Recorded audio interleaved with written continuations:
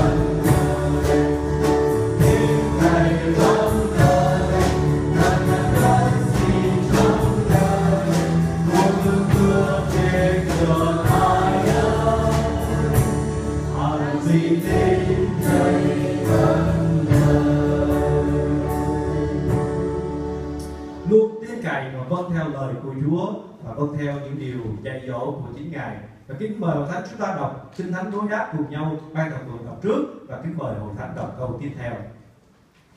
Hỡi con cái bé mọn ta, ta viết cho các con những điều này hầu cho các con khỏi phạm tội. Nếu có ai phạm tội thì chúng ta có đấng cầu thay ở nơi Đức Chúa Cha là Đức Chúa Giêsu Christ, tức là đấng công bình ấy chính ngài làm của lễ chuộc tội lỗi chúng ta. Không những vì tội lỗi chúng ta thôi đâu mà cũng vì tội lỗi cả thế gian nữa. Đây là tại sao chúng ta biết mình đã biết Ngài?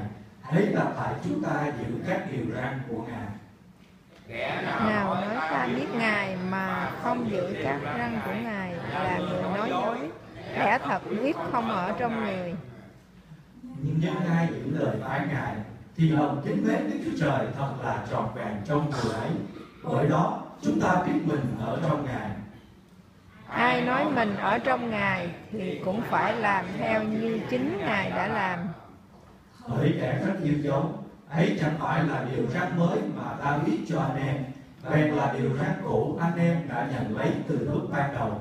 Điều răn cũ này tức là anh em đã nghe Xong le ta cũng viết cho anh em điều răn mới là điều chân thật trong Chúa và anh em vì sự tối tâm đã tan rồi và sự sáng thật đã soi sáng. Kẻ nào nói mình trong sự sáng mà ghét anh em mình thì còn ở trong sự tối tăm. Ai yêu mến anh em mình thì ở trong sự sáng, mọi người có, chẳng có điều chi gây cho nhất phạm. Nhưng ai ghét anh em mình thì ở trong sự tối tăm, làm những việc tối tăm và không biết mình đi đâu, vì bóng tối tăm đã làm mù mắt người. Chớ yêu thế gian, cũng đừng yêu các vật ở thế gian nữa.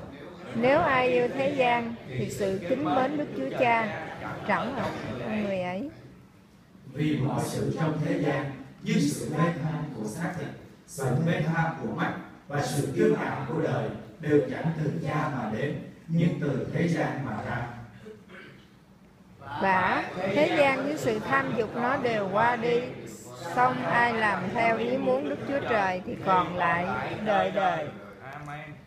Ta ban cho các ngươi một điều răn mới nghĩa là các ngươi phải yêu nhau. Như ta đã yêu các ngươi thể nào thì các ngươi cũng hãy yêu nhau thể ấy nếu các ngươi yêu nhau, thì ấy là tại điều đó mà thiên hạ sẽ nhận biết các ngươi là môn đồ ta. Chúng ta đọc chung lại câu này một lần nữa nếu các ngươi yêu nhau, thì ấy là tại điều đó mà thiên hạ sẽ nhận biết các ngươi là môn đồ ta.